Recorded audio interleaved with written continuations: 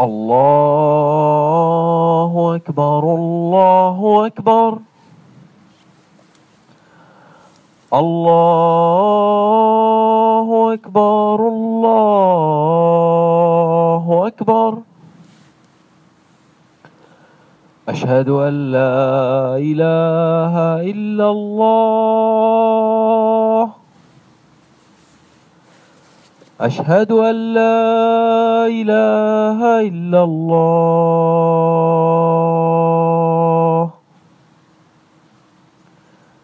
أشهد أن محمدا رسول الله. أشهد أن محمدا رسول الله.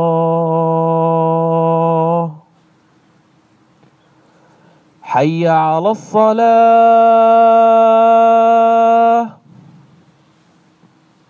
حي على الصلاة.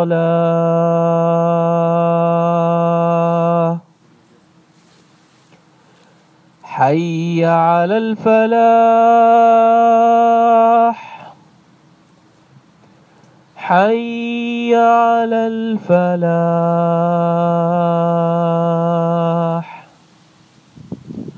الله أكبر الله أكبر. لا إله إلا الله.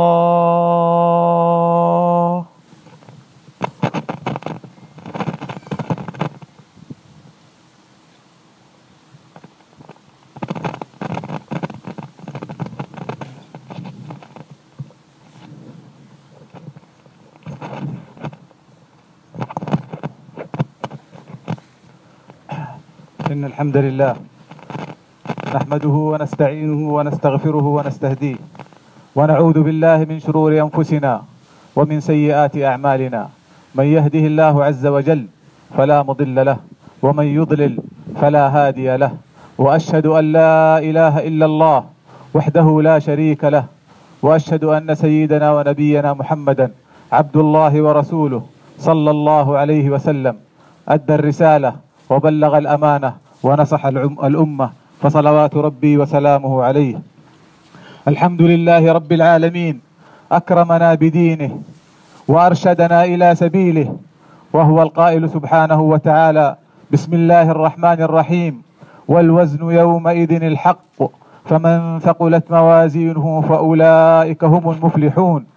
ومن خفت موازينه فأولئك الذين خسروا أنفسهم فأولئك الذين خسروا أنفسهم بما كانوا بآياتنا يظلمون. أما بعد عباد الله أوصيكم ونفسي بتقوى الله عز وجل. يقول سبحانه وتعالى بسم الله الرحمن الرحيم. واتقوا يوما ترجعون فيه إلى الله ثم توفى كل نفس ما كسبت وهم لا يظلمون.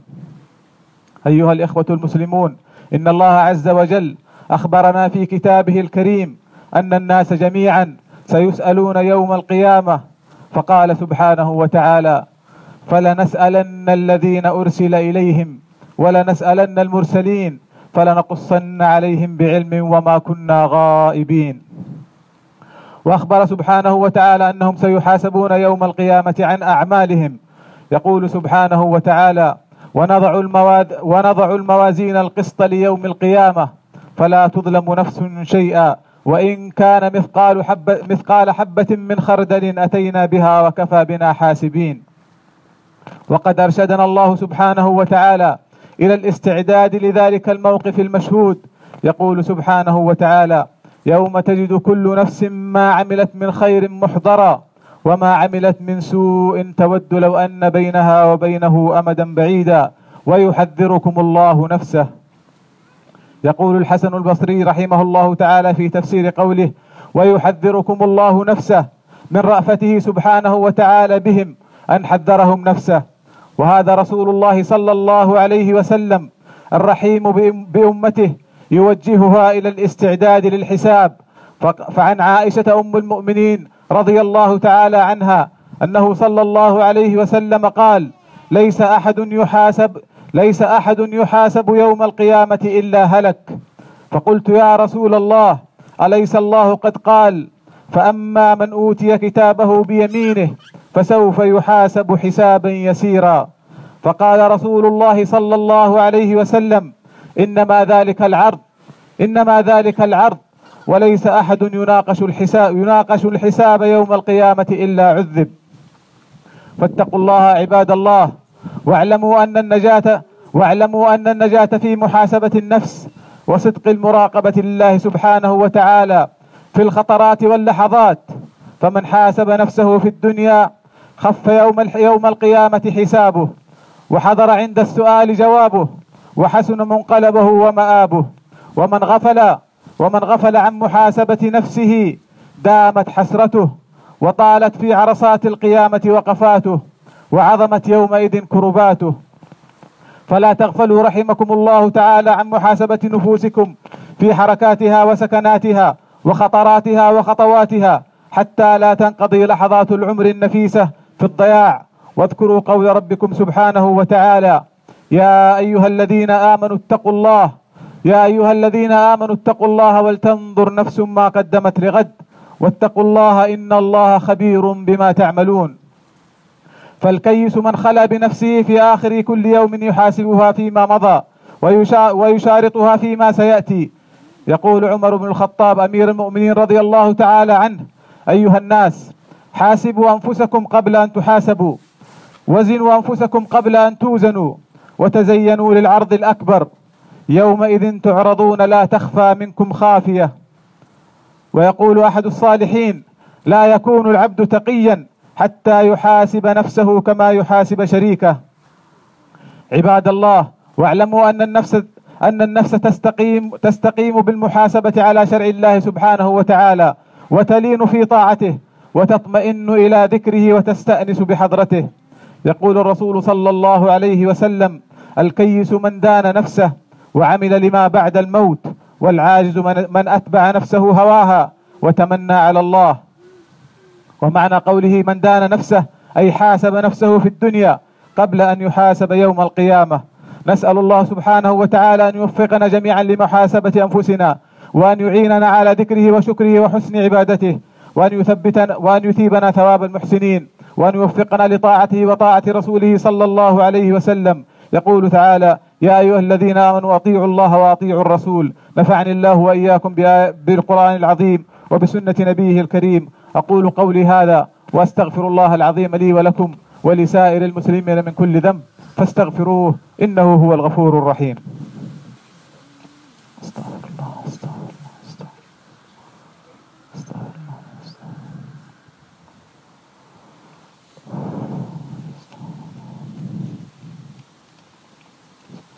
الله إن الحمد لله نحمده ونستعينه ونستغفره ونستهديه ونعوذ بالله من شرور أنفسنا. All praise is for Allah subhanahu wa ta'ala. We praise Him, we seek His aid, and we, we ask for His forgiveness. I testify that none has the right to be worshipped except Allah subhanahu wa ta'ala alone, who has no partner, and who said, بسم الله الرحمن الرحيم والوزن يومئذ الحق فمن ثقلت موازينه فأولئك هم المفلحون And the weighing on that day, day of resurrection, will be the truth weighing.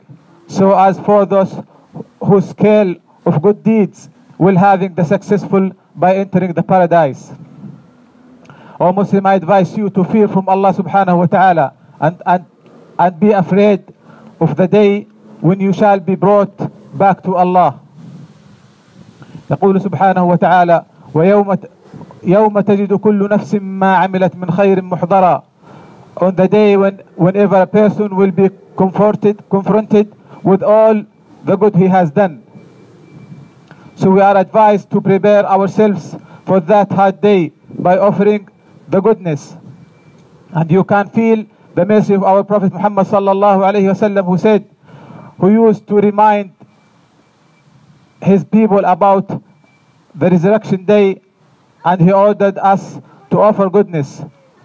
For that, without any doubt, Allah talked about the latest day and who is and and how it will be very hard and everybody will take will take a record in his hand.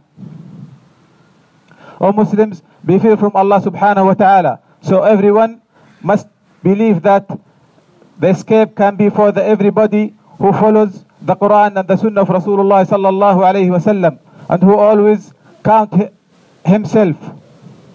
On the other side, who forgot, who forgets himself without offering goodness will be in sorrow forever. So we must we must ask ourselves about every action, every work, and every steps. And as a result of the right faith of the latest day, everyone must ask himself daily and put a plan for himself. So we pray for Allah subhanahu wa ta'ala to help us for remembrance and to be good to be good Muslim.